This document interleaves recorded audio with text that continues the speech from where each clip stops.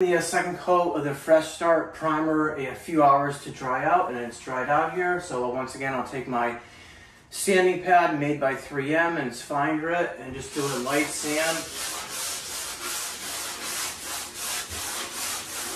Just in case there was any specks in the paint, or if the primer had, had a, had a bubbled, um, but it, it hasn't. Now it's all perfectly smooth here come across this side here. Just do a light sand.